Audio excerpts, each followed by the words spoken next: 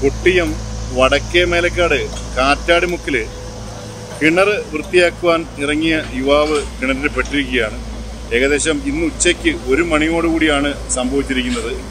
കണ്ണനല്ലൂർ മുട്ടക്കാവ് സ്വദേശി സുധീർ ഇരുപത്തിയൊമ്പത് വയസ്സ് പ്രായമുള്ള യുവാവാണ് കിണറിനുള്ളിൽ പെട്ടിരിക്കുന്നത്. ഊർജിതമായിട്ടുള്ള രക്ഷാപ്രവർത്തനങ്ങൾ നടക്കുകയാണ്. Kollam tahsildar village officer fire force DYSP C I ഉൾപ്പെടെയുള്ള police M L A Chathannoor M L A Sree Jayalal ഉൾപ്പെടെയുള്ള എല്ലാവരും ഇപ്പോഴും സംഭവ സ്ഥലത്ത് തന്നെയുണ്ട്. അവർ നേരിട്ട് രക്ഷാപ്രവർത്തനത്തിന് നേതൃത്വം നൽകുകയാണ്.